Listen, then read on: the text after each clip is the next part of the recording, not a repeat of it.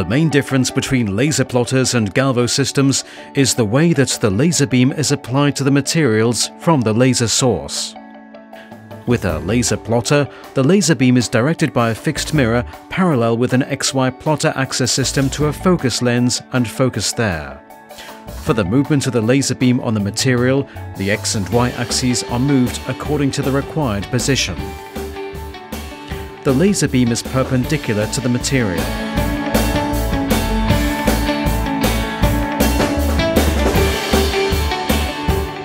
The size of the maximum processing area is defined by the size of the machine.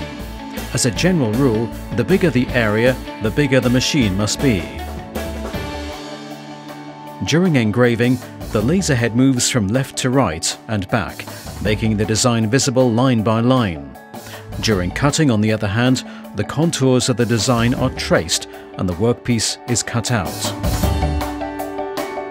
Trotec laser plotters are available with a CO2 laser, fiber laser, or as Speedy flexx with both laser sources.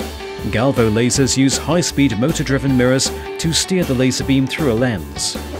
The laser beams onto two movable mirrors with angles that are dynamically and accurately set by galvanometer drives. The underlying lens focuses the beam and directs it towards the workpiece for processing.